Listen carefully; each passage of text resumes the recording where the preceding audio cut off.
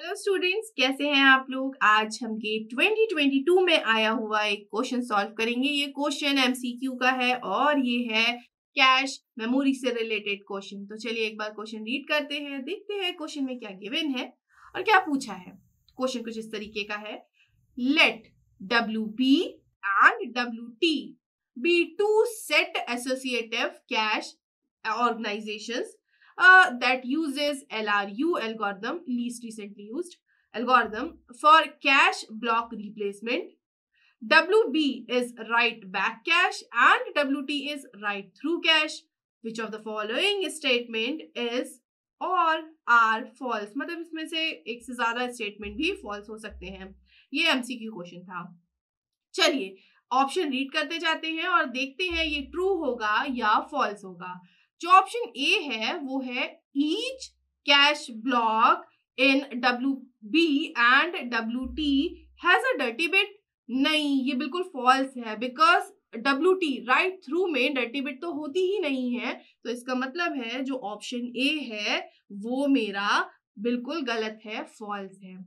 Option B देखते हैं।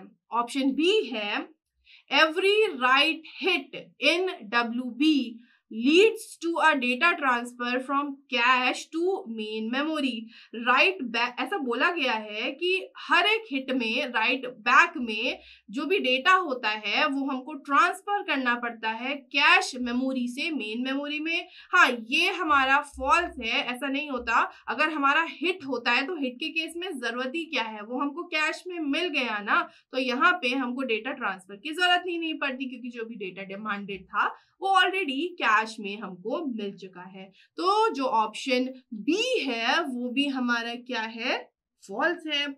चलिए, बात करते हैं ऑप्शन सी की। ऑप्शन सी है eviction of a block from W T will not lead to data transfer from cache to main memory ये ट्रू है बिकॉज़ राइट थ्रू में जो कैश मेमोरी होती है और जो मेन मेमोरी होती है, वो साइमल्टेनियसली क्या होती हैं? अपडेट होती हैं।